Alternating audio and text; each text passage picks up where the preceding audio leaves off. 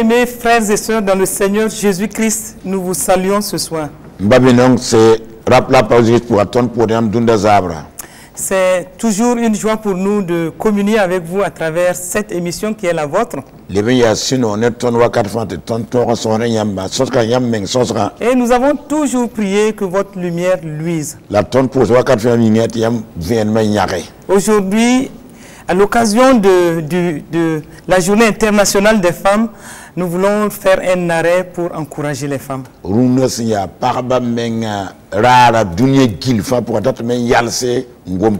le monde entier, nous sommes en train de parler de la journée internationale des femmes. Et nous saisissons cette merveilleuse opportunité pour dire bonne fête à toutes les femmes qui nous suivent et bonne fête à tous les maris qui nous suivent parce que eux et leurs femmes font un. La ton tunu da eh, wer kanga na yel parba wena vienre la la silva fa bale parne silfa yemre. Et nous croyons que Dieu, dans sa grâce, a permis que les femmes aient une journée, une journée au cours de laquelle elles peuvent s'arrêter pour évaluer certains aspects de leur vie et voir comment elles peuvent avoir des perspectives meilleures. lam meng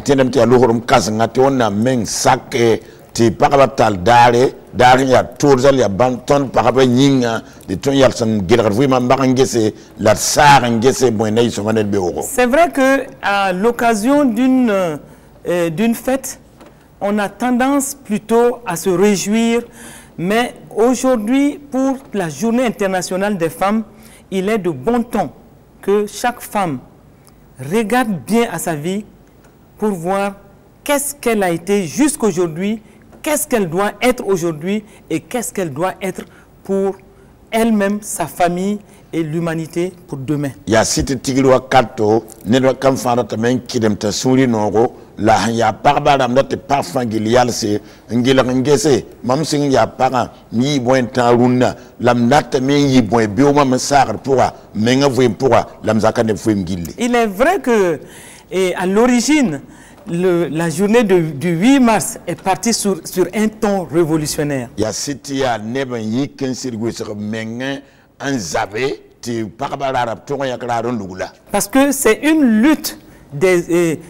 ouvrières qui a conduit à mettre à part une journée pour examiner les droits des femmes et pour voir quelles sont les conditions de travail des femmes. Et c'est ce qui a amené à, la- à mettre en place une journée intitulée Journée internationale des femmes. nusi mao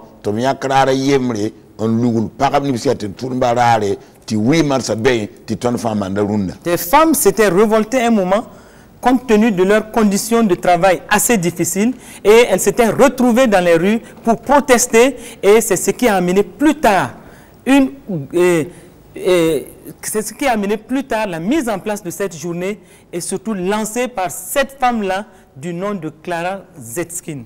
yaa clara zeskin n yik n kɩ tɩ wɩɩ marsã bɛ la sɩngã ne pagb yaa tẽn tʋʋnba bãmb me yik n wɩsg meng n na n zabe n dat tɩ bãmb me sẽn naara rap- ne Et c'était pour dire non pour certaines conditions difficiles de travail. ayo sake menge Et c'était pour réclamer une certaine égalité dans les conditions de travail entre les femmes et les hommes. le rap ne pagba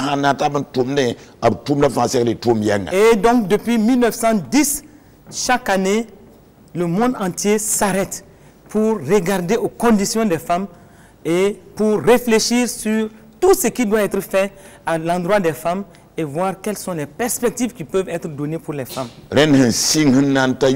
la yʋʋmd fãa dũni gil yɛlsdame yãk raara yembre wala wɩɩ marsã n gese pagba vɩɩm yaa soaba la bõe la b tõe n saag n maan tɩ pagba vɩɩm yẽ sõma n tɩ yɩɩda Et chaque année, un thème accompagne cette journée internationale des femmes. la yʋʋm fãa gilli b yãkda koe zugu Un thème qui reflète la réalité de vie des femmes. Un thème qui permet de prendre des résolutions pour améliorer les conditions de vie des femmes. Mais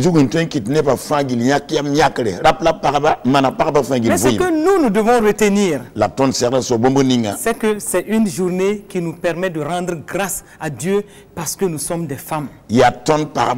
Yaa tõnd pagbã yaa raar wẽnnaam sẽn kõdo tɩ tõnd segd yɛl pʋʋs wẽnnaam barka Rend- wẽnnaam maan tõnd la rendre pagba grâce à Dieu parce qu'il a, il lui a plu de nous faire venir sur cette terre-là dans l'enveloppe féminine. n pʋʋs wẽnnaam barka bal taa wẽnnaam yam wẽnnaam kɩdme tõnd yaa ninsaalba la d yaa pagba n be dũni kãngã zugu Rendre grâce à Dieu parce qu'en nous créant, Dieu nous a donné une mission. Dieu nous a dit, nous devons être l'aide de notre Adam.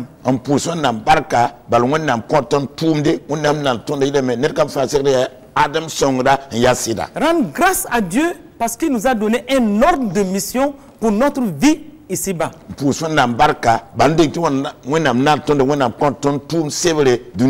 Et chaque femme, en ce qui la concerne, a reçu un ordre de mission et doit s'exécuter par rapport à des points précis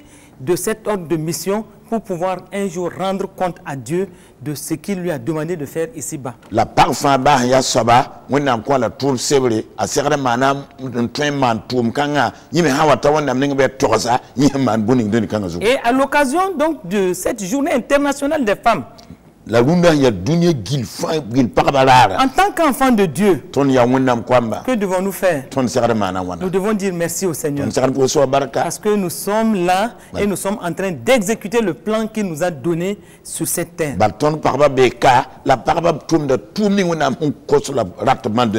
Nous sommes en train d'exécuter un plan précis, non seulement au niveau personnel, au niveau de notre relation avec Dieu, au niveau familial ou au niveau communautaire. sẽn be ka tõnd pida wẽnnaam sẽn saag n dat ne tõnd pagba n kẽ ne tõnd mengã vɩɩm d zagsã vɩɩm pʋga d sɩdba sɛɛgẽ la bad zamaana fãa gil vɩɩm C'est vrai que nous avons l'occasion de nous réjouir. yaa sɩd tɩ wɩɩmã d sã wɩɩ tɩ tõnd tõe n kɩdme Parce que certaines femmes disent, ah oui, c'est le 8 mars, nous devons porter le pagne de 8 mars, nous devons nous réjouir, nous devons manger, nous devons boire. Mais quelle est l'évaluation que tu opères, que tu fais? Parce que c'est la journée internationale des femmes. ba la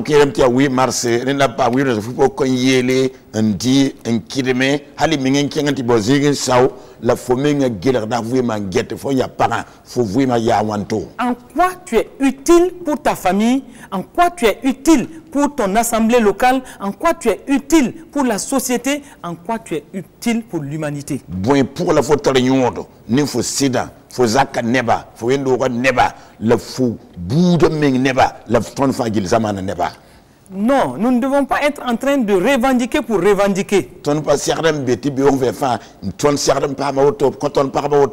Mais nous devons plutôt regarder à qu'est-ce que nous avons été jusque-là et à qu'est-ce que Dieu veut de notre vie pour que nous puissions un jour, pour que lui-même il puisse un jour dire, bonne et fidèle servante, entre dans la joie de ton maître. la tõnd segdame n gese tõnd sẽn maan to-to n gilg n gese bõe la tõnd maanda ninga tõnd maanda wẽnnaam sẽn date ne yɩ tɩ daa ning tõnd na t'a wẽnnaam t'a be tɩ tẽn tõnd pʋg sõngo kẽ zut wa vʋʋsem pʋga Et ça, je crois que chaque femme doit s'aviser, doit se dire qu'un jour, elle rendra compte de sa vie, ce qu'elle a fait de sa vie ici-bas sur cette terre. na wa ne kam Genèse 2, verset 18 dit, nous serons l'aide de l'homme. Et donc, c'est notre première mission auprès de notre Adam. Et nous devons reconnaître cette, ce rôle-là, nous devons reconnaître cette mission et nous devons nous soumettre à ce que Dieu a dit pour être efficace dans notre mission. la yel ninga Et qui que nous soyons, ninga. quel que soit notre statut social, quel que soit le niveau intellectuel que nous avons, baa tõnd n karem n tog n ta n nous zĩ devons ninga. pouvoir revenir toujours à la parole de Dieu. Pour dire qu'est-ce que Dieu m'a dit en venant sur cette terre, je suis l'aide de mon mari. C'est la mission que Dieu a collée à ma vie.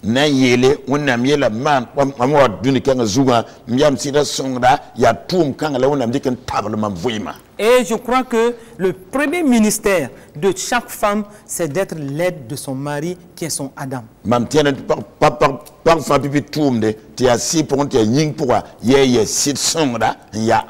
Et c'est pourquoi nous ne cesserons de le dire.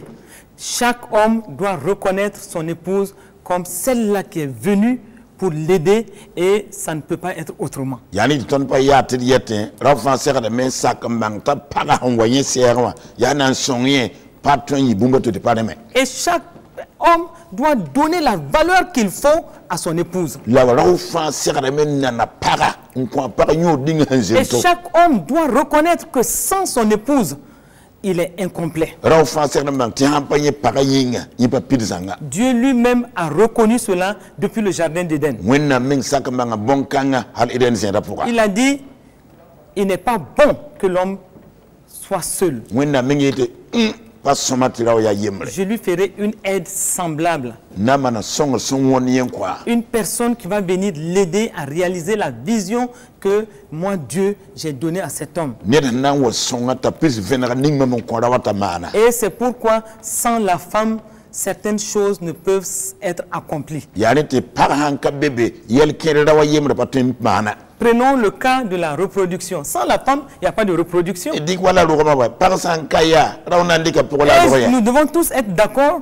Ça, ce n'est pas un sujet à discuter. La- Sans la femme, il n'y a pas de reproduction. Et c'est pourquoi la femme est extrêmement importante. Importante dans le système familial. tara Importante dans l'église locale. tara Importante dans la communauté. tara zamana Importante dans la nation. tara Pour le monde entier, la femme est un être extrêmement important et incontournable. la dũniyã gill fãa gill pʋga pag tara yõod kãsengã pagã pa tõe n gilg n bas tɩ vɩɩmã bɛy Mais pour tout cela, nous devons être une femme selon le cœur de Dieu. Et c'est là le titre de notre euh, entretien d'aujourd'hui, Femme selon le cœur de Dieu. dat Si tu es aussi important que ça, cette euh, femme qui m'écoute, tu dois comprendre que tu es un pilier. Sans toi, la famille sera fade. Et tu es une sentinelle, une protectrice. Tu es aussi une pourvoyeuse dans la maison. Et c'est pourquoi le roi Lemuel dira dans Proverbe 31, une femme qui peut trouver une femme vertueuse? Et il ajoute, elle est bien plus, elle a bien plus de valeur que les perles. Et à travers ce que nous sommes en train de partager avec vous, nous sommes en train de mettre l'emphase sur des points essentiels qui doivent faire de nous une femme selon le cœur de Dieu.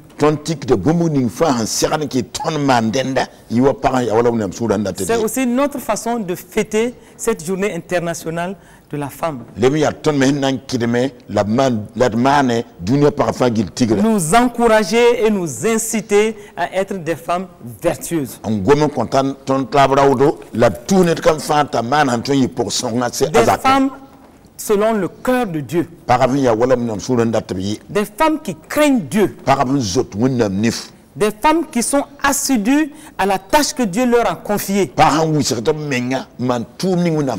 Et des femmes qui prennent soin des siens. Et à l'occasion de cette journée internationale de la femme, je voudrais que chaque femme s'arrête et comprenne une chose. Le succès d'une femme ne se mesure pas à sa beauté ou à son élégance. Ton succès ne se mesure pas à la façon de t'habiller. Ton succès ne se mesure pas à la façon de te, de te maquiller. Ce sont là les repères du monde. Le monde a ses repères. Mais la femme qui est un enfant de Dieu a pour repère Dieu et sa parole. Et nous devons comprendre cela. À cette journée internationale de la femme, nous devons nous rappeler que nous sommes des enfants de Dieu. Christ vit en nous. Nous avons l'enveloppe féminine. Nous sommes fils de Dieu. Nous sommes fils de Dieu. Et quand nous sommes enfants de Dieu, Christ vit en nous. vɩa tõnd pʋgẽ Et Christ en nous. la kirist tõnd pʋgẽ Colossiens 1, 27 le dit. L'espérance de la gloire. Est-ce que nous comprenons ce soir que nous ne sommes pas n'importe qui Est-ce que comprenons-nous ce soir que nous avons de la valeur aux yeux de Dieu Est-ce que nous comprenons ce soir que nous sommes des créatures si merveilleuses Des créatures dotées d'une valeur intrinsèque, irremplaçables sur cette terre. Unique en notre genre. Et personne ne peut dire qu'il nous ressemble. Parce que nous sommes uniques. Ye et nous sommes la irremplaçables avec une valeur intrinsèque. Dieu nous aime tels que nous sommes. Il nous aime tels que nous sommes. n Nous devons comprendre cela. Et je l'ai dit tantôt, le succès d'une femme ne se mesure pas au repère du monde. Le succès d'une femme se mesure aussi à la qualité de sa relation avec Dieu. Est-ce que tu es d'abord consciente que tu es un enfant de Dieu? Es-tu consciente que tu es une nouvelle création? Es-tu consciente que Christ vit en toi? Es-tu consciente que tu es en Christ? Et que si quelqu'un est en Christ, il est une nouvelle création. Les choses anciennes de sa vie sont passées. loogame Toutes choses sont devenues nouvelles. Est-ce que dans ta situation de femme aujourd'hui, alors que tu m'écoutes, quels sont les blocages? Quelles sont les pensées négatives? Quelles sont les pensées qui viennent te, euh, te- te convaincre que tu n'es rien? Quelles sont les pensées qui viennent te convaincre que les autres sont plus que toi Je veux tout simplement que tu comprennes que personne n'est comme toi. Et tu as Christ en toi. Tu es une nouvelle créature. Et en plus, la sẽn le paas 1 Pierre 2, verset 9, dãn n pieri vɛrsa wa nous te, te dit que tu es une race élue. Tu es un sacerdoce royal. Tu es une nation sainte. Et nous sommes un peuple acquis. Afin que nous puissions annoncer les vertus de celui qui nous a appelés des ténèbres à son admirable lumière.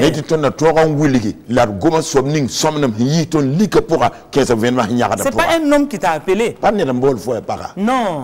C'est le grand Dieu qui t'a appelé des ténèbres pour t'amener à son admirable lumière. Qui peut te condamner?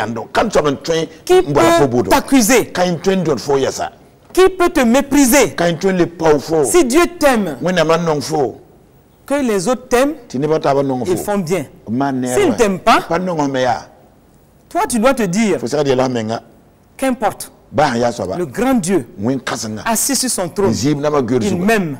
il a dit dans le livre d'Ésaïe que chaque jour, mes murs sont devant lui. Ma vie est devant lui. Et je suis inscrite dans la paume de ses mains. Et quand il se lève, quand Dieu se lève, il me voit toujours dans la paume de ses mains. Donc, qu'est-ce qui peut m'amener à croire que je ne suis rien? Sois rassuré que Dieu t'aime. Et si Dieu t'aime, femme, c'est qu'il veut de toi. Et s'il veut de toi, c'est qu'il a un plan pour toi. S'il a un plan pour toi, c'est qu'il a vu de la valeur en toi. Un plan pour réaliser des œuvres bien précises. Et tu dois comprendre avec ces paroles-là que tu ne dois plus te mépriser. Quel que soit ce qu'on peut te dire, quel que soit ce que ton expérience te dit, quel que soit ce que les autres disent autour de toi, quel que soit ton passé, ba fo vui ma quel que soit ce que tu es en train même de souffrir ba fo maintenant, Je n'en sais rien. mais ce que je sais, mi c'est que tu n'es pas n'importe qui. Et je veux que tu voies cette valeur. Et je veux que tu saches que Dieu, ton Dieu t'aime. Je veux que tu saches que tu es un être privilégié pour ce Dieu-là. Et ce Dieu-là, assis sur son trône, il compte avec toi, femme. As-tu été tiraillé dans ta vie? As-tu été meurtri dans ta vie As-tu été piétiné dans ta vie? Pour As-tu été rejeté dans ta vie? Je ne sais pas ce que tu as souffert et je ne sais pas ce que tu souffres aujourd'hui. ma- ma- ma- ma- Mais ma- ce dont je vais te rassurer, c'est que tu es une nouvelle création. Rien de ta vie ne peut encore venir t'accuser. Et tu es en plus la fo le sel de la terre. dunia Wow. yamson wow Tu es le sel de la terre. dunia yamson Partout où tu passes, aie la zeninga tête haute. Partout où tu passes, zeninga. sache une chose. Ta présence va amener une autre dimension. Dans tous les milieux où tu passes. Ta présence va faire toujours une valeur ajoutée. Et quand on te voit, on voit Christ en toi. Donc, qu'est-ce qui va t'amener à vivre de fa- à te morfondre chaque jour? En plus, on le passe Dans Matthieu 5, Matthieu nous. la parole de Dieu te dit Tu es la lumière du monde. Ah oui, la lumière du monde. Tu dois éclairer. Éclairer partout où tu passes. Et regarde, ta lumière doit luire. Et au verset 16 de Matthieu 5, Matthieu nous pila yobe la parole de Dieu te dit que votre lumière luise ainsi devant les hommes, afin qu'ils voient vos bonnes œuvres, ces œuvres que Dieu avait prédestinées pour que toi seul, tu puisses les accomplir. Et qu'ils voient vos bonnes œuvres. Et qu'ils glorifient votre Père qui est dans les cieux. Voici ce qui te caractérise. Et c'est pour te dire simplement que et tu as un grand destin.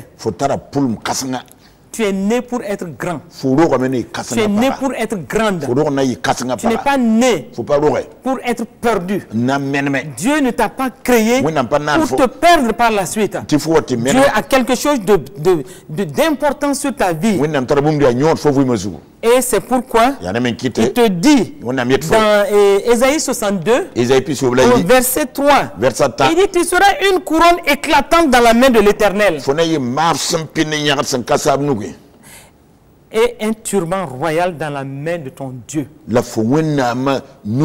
La fo wonnam nugi fo na yi wala naab han dikra pienam palgame. Femme, c'est pour te dire, à l'occasion de cette journée internationale de la femme, ti rumde si ya dunia gil que fa tu es né pour être un succès. fo do kamena yigre para. Parce que ton Dieu te connaissait d'avance. Il l'a dit dans Romains 8, et la romeni au verset 29 et 30. verset puis sur la pita Il dit car ceux qu'il a connus d'avance, il les a aussi prédestinés à être semblables à l'image de son fils, afin que son fils, fils fût le premier-né entre plusieurs frères. Et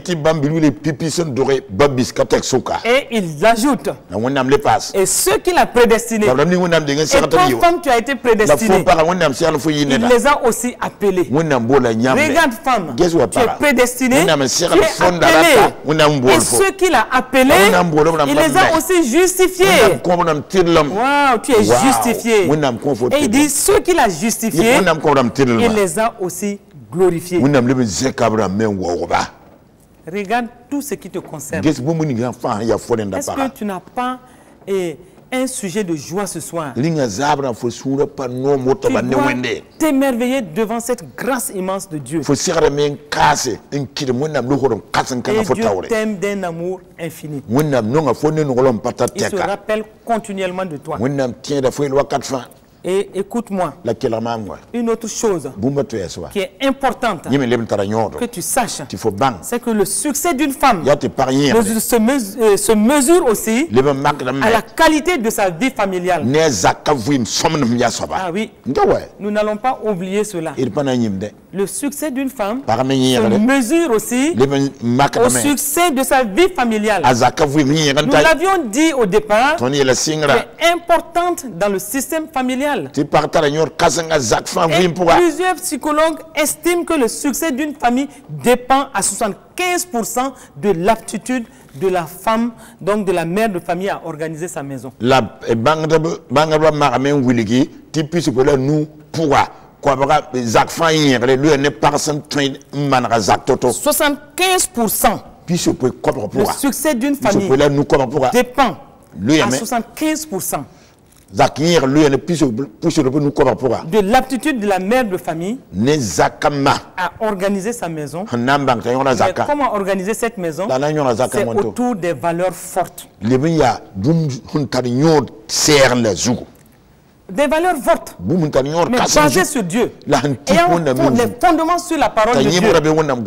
Donc, si tu veux être une femme vertueuse, et ma prière à cette occasion de, du 8 mars, c'est que vous toutes qui m'écoutez, que vous puissiez être n boolame tɩ Que vous puissiez marcher sur les traces de la femme vertueuse. Que vous puissiez être des excellentes épouses qui réjouissaient le cœur de vos maris. Que vous puissiez être de très bonnes mères de famille pour être ma-sõmya zagsã pʋse Et cela n'est pas difficile. Cela veut dire simplement que tu as le cœur ouvert, yalengã précepte divin. Que tu veux être une femme vertueuse, mais une mère de famille vertueuse. Une mère de famille veut dire qu'elle a non seulement son époux, mais elle a aussi ses enfants autour d'elle. Et elle peut dire, oui, qu'elle est contente d'avoir des enfants autour d'elle. Elle peut rendre grâce à Dieu Ah. parce que les enfants sont un don de l'éternel. Elle peut s'arrêter et puis s'exprimer comme Ève l'a fait dans Genèse 4, verset 1. a tõe me n yalse n gom wa a wa n kaase sɩng n na vɛrsa yei Ève l'a dit, a wa yɛɛla j'ai formé un homme avec l'aide de Dieu. Elle était en train d'exprimer là une fierté d'être une femme qui a pu enfanter. Elle s'est extasiée. J'ai formé un homme avec l'aide de Dieu. Et je crois que toute femme qui met au monde un enfant ou qui a des enfants, elle peut aussi s'arrêter dire Waouh, moi j'ai formé des hommes avec l'aide de Dieu.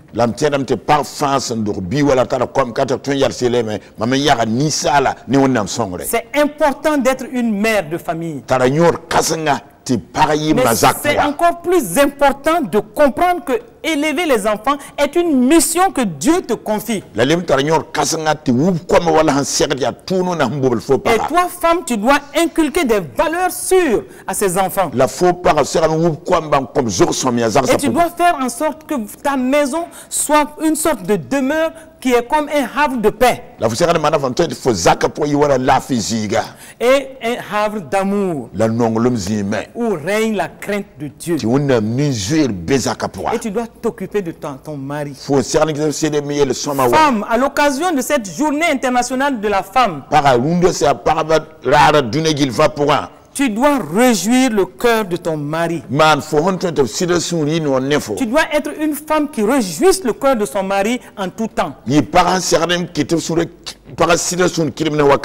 cela n'est possible que si tu es une femme d'amour. Une femme dont la présence amène tout de suite l'atmosphère changée en atmosphère d'amour. Et Proverbe 31, verset 11 dit que le cœur de son mari a confiance en elle. Vous devez donc vous occuper convenablement de votre mari. Vous occupez de votre mari, mais aussi vous occupez de vos enfants comme il se doit. Vous devez accompagner votre mari avec amour. Vous devez soutenir votre mari en priant pour lui. Vous devez l'aider à accomplir les objectifs de la famille, mais aussi la vision que Dieu a mise sur sa vie. T'a n Et je crois que si ces choses-là s'incrustent dans notre cœur, nous-mêmes nous aurons la paix. Rappelons-nous toujours que Dieu a mis sur notre vie à nous un merveilleux plan. La valeur d'une femme se mesure aussi par ce qu'elle fait pour Dieu en secret ou en public. pag yõodme leb n makdame ne bu ninga sẽn maan n kõt wẽnnaam tɩ yaa yẽ yembre wa nebã fãa taoore Le plan que Dieu nous a mis sur notre vie doit être exécuté. pag wẽnnaam n segl bõe ning ning pag fãa vɩɩmã tõnd segd n pid salame Ne sois pas de ces femmes-là qui disent Ah non, je ne sais pas exactement et, et qu'est-ce que je dois faire pour Dieu. Mais non, tu dois discerner ce que Dieu a mis sur ta vie et l'exécuter avec amour tout en sachant que tu es en train de réjouir le cœur de Dieu et tu es en train de réjouir le cœur de ton mari. ay ninga fo fo la fo fo Donc, femmes, marchons dans les traces de la femme vertueuse. Si tu marches dans les traces de la femme vertueuse, l'Esprit de Dieu va te conduire dans le plan que Dieu a mis sur ta vie. Rappelle-toi d'une chose, tu n'es pas là par un fait de hasard. Et aujourd'hui, je veux que tu te réjouisses dans le Seigneur parce que, comme Éphésiens 2, verset 10 le dit, nous sommes son ouvrage, ayant été créés en Jésus-Christ. Pour de bonnes œuvres que Dieu a préparées d'avance afin que nous puissions les pratiquer. Afin que nous seuls nous puissions les pratiquer. Et pour cela, tu dois être une femme de foi. Soyons des femmes de foi. Marcher dans les traces de la femme vertueuse, c'est aussi être une femme de foi. Et sachons-le, Hébreu 11, verset 6 le dit, sans la foi, il est impossible d'être agréable à Dieu.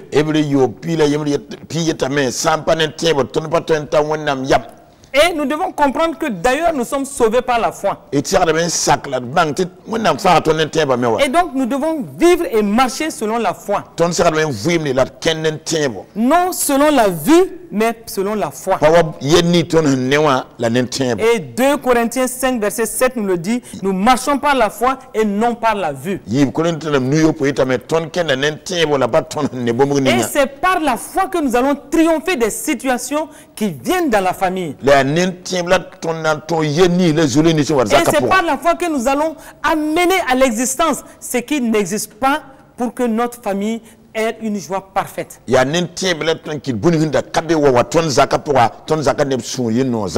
Et donc nous devons, tout en marchant par la foi et agir par la foi, faire tout par la foi, et nous allons voir beaucoup de choses se passer dans le bon sens dans notre famille.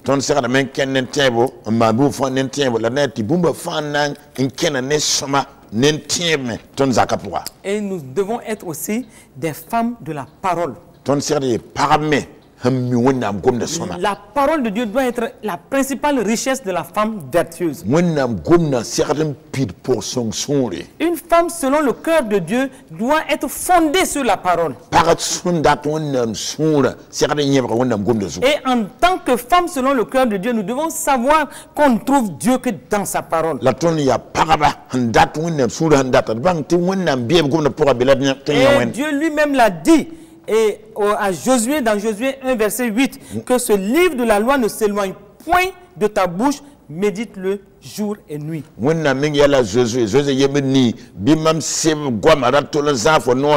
Et nous devons agir fidèlement selon tout ce qui est écrit dans la parole. la Nous ne devons pas agir selon les conseils de nos amis ou selon les conseils des membres de nos familles, mais nous devons marcher selon le conseil contenues dans la parole de Dieu. ton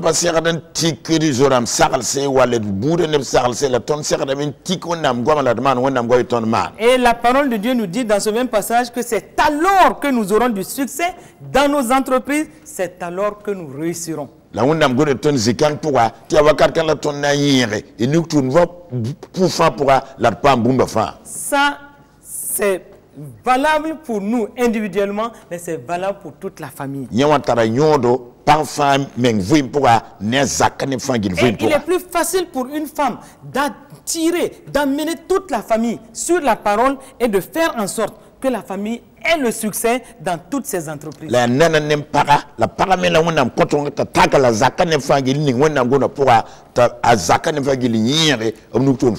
Et nous devons faire en sorte aussi, en tant que femmes, que la parole soit une lampe à nos pieds et une lumière sur nos sentiers, tous nos sentiers. Quelles que soient les situations que nous traversons dans la maison, la parole doit être une lampe à nos pieds. la dɛga la vẽnega tõnd so-bugsi tõnd so-bugsã fãa babundi fãa tõnd n maande zakã pʋga Nous devons a yɩ lampo méditer la parole. Y tags wẽnnaam gode n ges en tant que femmes selon le cœur de Dieu. pagb wala wẽnnaam Nous sũurã devons marcher selon la parole, y tɩk wẽnnaam gomdã n kẽne prendre nos décisions selon la parole. tɩk wẽnnaam gomdã n yãk yam yãkd bʋ Et tout ce que nous prenons comme initiative, tout doit être fondé sur la parole. la tõnd dat n maan bũ-ning fãa gilli d vũã pʋg segd n yẽbga wẽnnaam Nous gomdã devons suk aussi, en tant que femmes selon le cœur de Dieu, être des femmes de prière. tõnd leb n yaa Et la prière doit être une clé pour toute femme selon le cœur de Dieu. Et on doit utiliser cette clé-là, qui est la prière sans mesure et sans restriction. Et nous devons comprendre que la prière va nous élever dans la présence de Dieu. Et nous devons prier sans cesse. Adorer le Seigneur tout le temps dans notre maison. selon le cœur de Dieu. Être toujours dans la louange. Dans l'adoration. Et quand il est être dans l'action de grâce continuelle, et c'est alors que nous aurons du succès dans notre famille. wakat en vous souhaitant la bonne fête de cette journée internationale de la femme, je voudrais m'attarder sur quelques clés. Des clés pour réussir votre couple. Des clés qui vont faire en sorte que votre couple va s'épanouir. Placez votre couple sous l'autorité de Dieu. Dieu doit être le ciment de votre relation. En deuxième point, connaissez votre conjoint. Étudiez son tempérament. S'il est sanguin, s'il réagit vite, vite, vous, vous devez cultiver la patience. L'esprit de patience est en vous. Demandez et à Dieu d'amplifier la patience en vous. Et résister à l'épreuve de la patience. la Voyez, maîtrisez bien votre conjoint. Son tempérament, son comportement, son caractère. Et en tant que femme, faites de votre mieux pour vous adapter à lui. Quand vous allez bien vous adapter à lui, rien ne va vous faire souffrir. Et s'il est un homme désordonné, a ned me sẽn yaa zũnglgu soyez une femme ordonnée. Vous allez créer l'équilibre dans votre famille. Et cela me fait penser à cette femme-là yaa qui était une femme extrêmement spirituelle. wẽnnaam Femme toujours en train de prier. Et dès le début de son, son mariage avec son mari, voici cette femme-là qui disait, mais non, j'aime tellement mon mari que quel que soit son caractère, je suis prête à tout supporter. Et voici que cet homme-là, quand il vient du travail, il enlève ses chaussettes. Et il n'a jamais et puis prendre ses chaussettes, les mettre dans un panier à linge. la ning ya la futa pour au début, ça amusait sa femme. singra Elle arrive toujours, elle voit que eh, il y a deux petites boules comme des petites, des, des- des petites balles qui sont posées pas loin du panier. L'homme n'est même pas capable de prendre ces chaussettes-là, les mettre juste dans le panier. para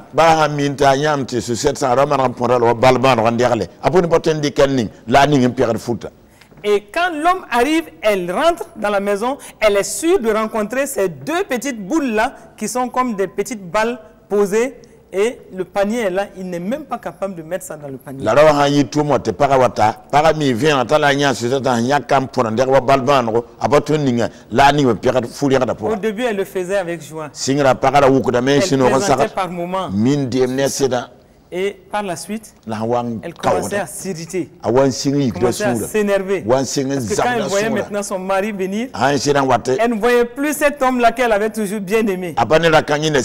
koy Elle le voyait comme le propriétaire des deux petites balles qu'elle est obligée d'aller ramasser pour mettre dans le panier.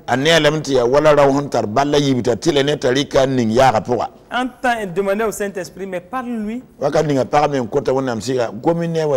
Et c'est en ce moment que, quand les deux petites balles sont là, l'homme en passant, il shoot même une petite et l'autre chaussette sans se rendre compte. Donc les petites balles commençaient à se disperser dans la maison.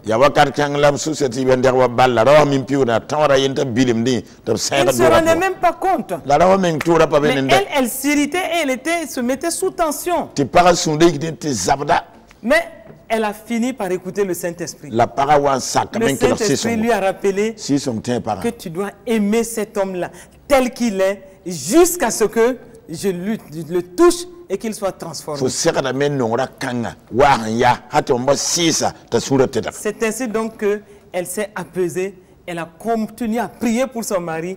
Et un jour, à sa grande surprise, elle a vu que l'homme, maintenant, il enlève sur ses chaussettes et c'est lui-même qui les pose dans le panier. yani te para sika sura la wa yam te si song si si tra suri mo ta ha wa ka su set sa ye ning da furi da la Parmi les clés que je suis en train de, de vous exposer, il y a le fait que vous devez vous concentrer sur ces points forts. kulumbi ning ma mun wuli gidi yam ba suka yam sekada me nyoki me ngan tiki par isira pangziga Valoriser ses qualités. en zeki sida zor somya Aidez-le à corriger ses défauts ou ses points faibles. sonya tam manre yeme zanga wala pan kom sam Mais ziga faites-le avec tellement de délicatesse et d'amour. la maniya ne nonglom la ne yam Valorisez, élevez ses qualités. zekiyan sida azor songo Ses points forts, élevez-les. ahaman bon songo En élevant tellement ses points forts, Yam. les points faibles, vous n'allez même plus continuer à les voir. yama zegidi sida a pan panga ziga pan koma yam pale niya Et doucement, avec délicatesse, la bilibili yam en le valorisant, en l'encourageant, doucement, doucement, vous allez l'aider à corriger ses défauts et ses points faibles. Un- une quatrième clé, découvrez son langage d'amour le plus sensible. Il peut aimer particulièrement les cadeaux. Oui, s'il aime particulièrement les cadeaux, hanon le plus important n'est pas la valeur du cadeau. towa Le plus important, c'est qu'il a pensé à toi. yata wan Et un cadeau est toujours là pour dire telle personne a pensé à moi. la kuni net handere kuni mi yeta fo azar taksa fo Et un yelle cadeau touche toujours le cœur. la katfa Personnellement, ha ne ma menga quand on reçoit le cadeau, il faut bénir la personne. Est-ce que tu le fais quand ton mari t'amène quelque chose? Ça peut être ton mari.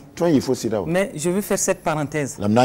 Cet après-midi, alors que je, vais, je suis arrivé dans la salle. Pour euh, euh, cette émission, j'ai été accueilli avec un bouquet de fleurs. Un joli bouquet de fleurs. Et donc, euh, et vraiment un bien-aimé frère. Ti babi nongolga qui n'est autre que le commandant de la tour de prière. Il est venu me donner ce joli bouquet a wa n kõ mam fleur ned pour m'encourager pour ce que je suis en train de faire. Parce qu'il dit qu'il voit l'effet dans sa propre famille. J'étais tellement touché. Et je ne crois pas que je puisse oublier cela. Un cadeau est là toujours. ah, na yet a cette personne a pensé à moi. Et notre cœur est dans la joie. Nous pouvons bénir cette personne. Et vraiment, mon cœur s'est réjoui. Que Dieu le bénisse. Et c'était la parenthèse.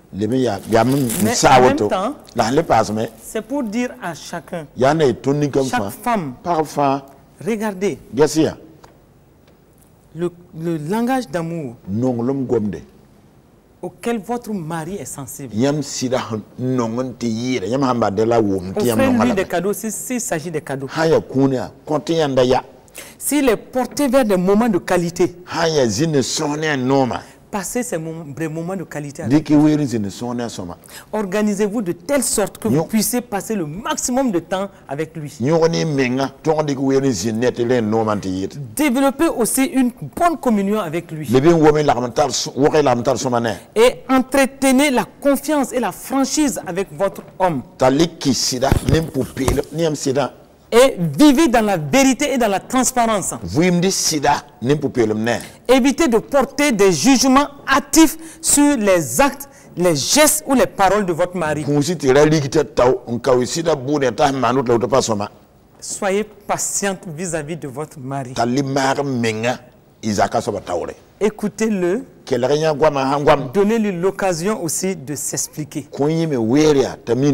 Et il y a des femmes qui sont très, très, très impatientes. la pagb n be pa Quand leur mari veut leur parler, elles multiplient tellement les paroles. Que l'homme n'a plus l'occasion même de- d'être écouté ou de s'expliquer. Et à l'occasion de cette journée internationale des femmes, femmes, je vous demande de vous efforcer de partager les mêmes centres d'intérêt avec votre mari.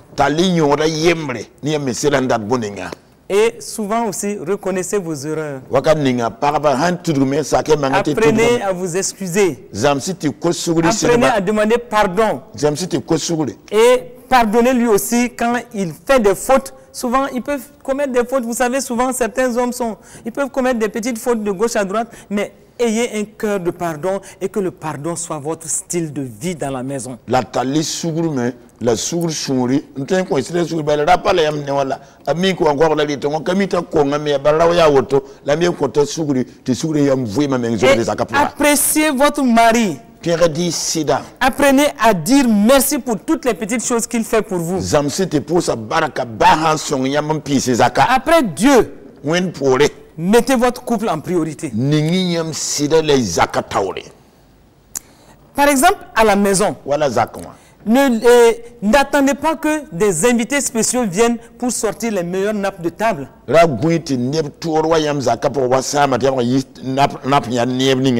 Votre mari est celui-là qui doit être valorisé et, et- et- et- et honoré avant tout.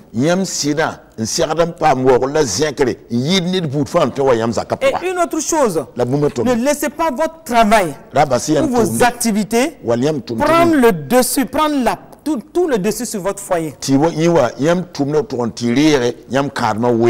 Soyez aussi créative. Évitez la routine, évitez la routine, femme. Évitez la routine, même dans la cuisine. Évitez la routine, même dans les activités familiales. Un homme a dit à sa femme, raara on, mange toujours la même chose. Elle, c'est tout le temps, c'est le riz à midi, le tôt le soir. Riz, tôt. Riz, tôt. Chaque jour. Et souvent les mêmes sauces. eh, eh, eh, eh, Et l'homme dit, mais c'est toujours la même chose. Elle dit, je vais changer. toeemame Maintenant, pour changer, c'était tôt ri. Ya- To ri. ya winto winto sagabo zabar muy winto sagabo zabar muy C'était ça son changement. Soyez créatifs. Nous sommes dans un pays où on a toutes sortes de petites choses pour faire des petites cuisines, innover, faire de petites choses qui peuvent, et il faut savoir bien les placer sur la table à manger.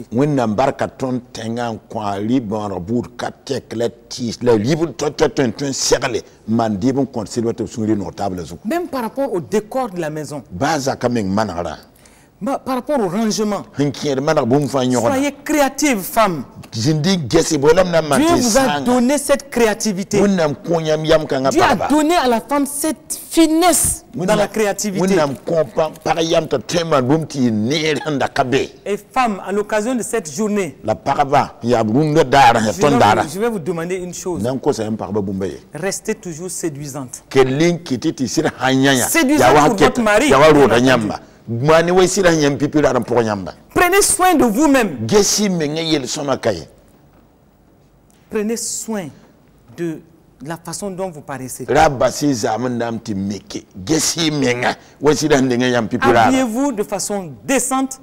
yelg y fu tɩ zemse Habillez-vous de façon recherchée, sans trop de fantaisie. Sachez vous faire belle. Et sentez toujours bon. J'espère que je me fais comprendre. Et je crois que c'est des petites clés qui vont vous aider. Et à maintenir une- un climat agréable à la maison. Et tout ça est arrosé d'amour, de gaieté, tout ce qui rentre dans votre maison, l'atmosphère de gaieté, d'amour les, les, les, les- accueille. Et voyez, par rapport aux enfants, vous devez les élever avec crainte. Et vous devez avoir un plan spirituel pour eux, un plan d'éducation pour, pour eux. La parole de Dieu doit les bâtir. Et vous devez apprendre et leur apprendre à obéir au Seigneur, à être soumis à Dieu. Aimez vos enfants de tout cœur. Exprimez-leur votre amour par des actes pratiques.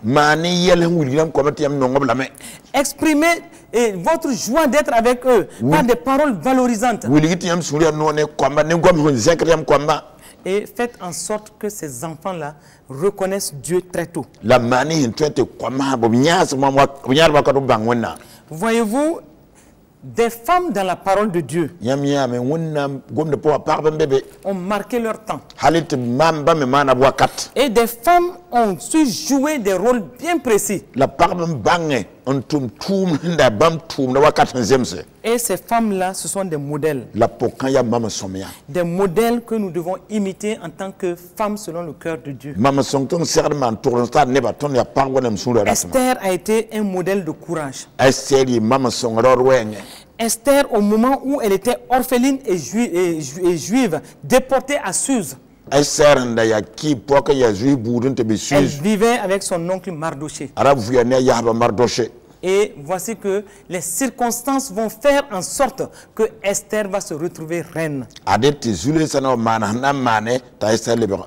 Et grâce à son courage, elle a sauvé son peuple. la ɛsɛr Et soyons des Esther à tout point de vue. Soyons aussi des Ruth, des modèles de- d'amitié et de loyauté. Soyons des Abigail, des modèles de sagesse. Sagesse qui sauve sa famille. Une sagesse qui relève la famille. Soyons aussi des modèles de Anne. Anne qui est un modèle de persévérance. y Parce qu'elle a persévéré, elle a crié à Dieu et Dieu lui a donné un enfant au-delà de son entendement. a a Soyons des femmes comme Déborah. d yɩ pagba wa debora ramba Déborah qui est un modèle de visionnaire, ya mamso vẽnegd pʋga une prophétesse, une juge en Israël, une qui a su chercher le cœur de Dieu à des moments bien précis, une femme courageuse, une guerrière, et une qui a combattu pour la libération de son peuple. Et soyons ces modèles-là. kãya Soyons des modèles de soumission comme Marie, qui n'a pas discuté la parole de Dieu. Une qui s'est tout de suite alignée sur ce que Dieu a voulu qu'elle fasse. maari sak n tʋng zĩig pʋgẽ wẽnnaam data maana Une qui a su que Dieu lui avait fait grâce. Soyons ces femmes-là. Et nous, aujourd'hui, avec l'Esprit de Dieu en nous, Christ vivant en nous, l'apôtre Paul a dit aux Galates, ce n'est plus moi qui vis, mais c'est Christ qui vit en moi. Et Christ vivant en nous, l'Esprit de Dieu vivant en nous, nous, nous pouvons regrouper tous tous ces caractères. La persévérance, la sagesse, l'humilité, l'amitié, la loyauté, le courage. Nous avons tout en nous. Et c'est pourquoi, à l'occasion de cette euh, fête, Des femmes. Soyons des femmes relevées par Christ qui vit en nous. d yɩ pagb kirist sẽn zẽkde n vɩ tõnd pʋgẽ wã Et alors que nous terminons ce soir, nous voulons de tout cœur bénir toutes les femmes qui nous écoutent. Nous voulons dire à toutes ces femmes qui nous écoutent, vous avez de la valeur. Et ce soir, je prie pour toute femme qui a été à l'écoute de cette émission. À l'occasion de cette fête du 8 mars, 8 marsã tigre yĩnga que le Seigneur, dans sa grâce, pʋga fasse surabonder sa grâce sur vous.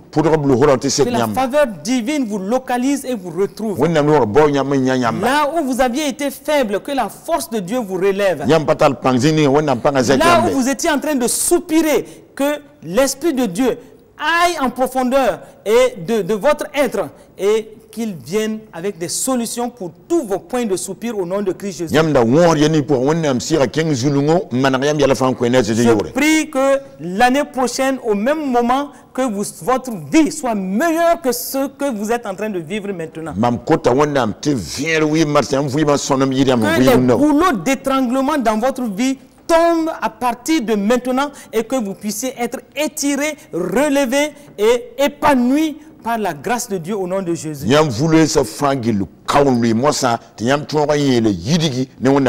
Je prie que vous puissiez prospérer à tous égards comme prospère l'état de votre âme.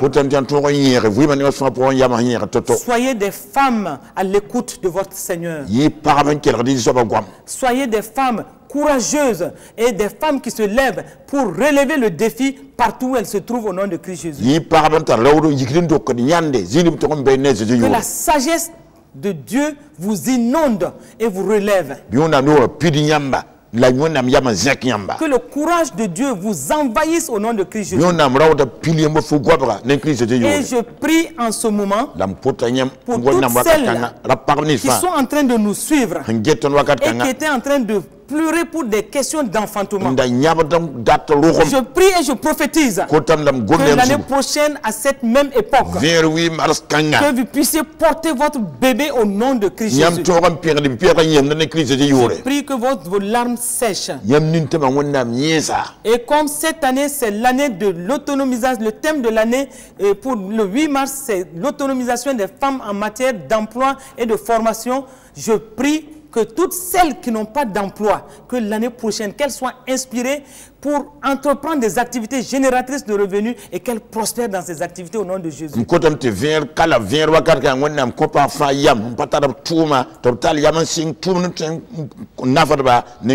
Que l'Esprit de Dieu soit votre conducteur, votre guide en tout et que vous soyez bénis, enrichis au nom de Christ Jésus. yãmb tata vɩɩmã ne fãa pʋga ne kirist zeezi yʋʋre Et que vos maris soient des hommes heureux entre vos mains. Que des initiatives, l'innovation vous envahissent dans votre esprit et que vous puissiez apporter une joie de vivre dans votre maison au nom de Christ Jésus. Bɩ yam yãk paala pidi yãmba tɩ yãmb tõog n maan yɛl sẽn da ka be tɩ sũ pid yãmb zakã ne kirist zeezi yʋʋre Nous vous apprécions de tout cœur et nous vous aimons. yãmb me Une fois de plus, n le paase bonne fête à toutes les femmes. Et à toutes les familles. Amen, amen. amen amen amen amen